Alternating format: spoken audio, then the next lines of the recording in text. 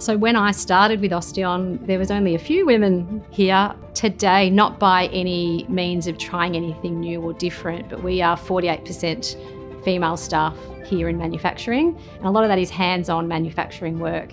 And I've noticed over the, the past 10 years, there are more and more women getting into manufacturing. And I think that that's really, really important um, to keep that momentum going. Osteon Medical is a medical device manufacturer based in Mulgrave in Victoria. We predominantly build for a patient a facial prosthetic, mostly in the dental space. Manufacturing locally is of the most strategic importance, I think, for our nation and for our state.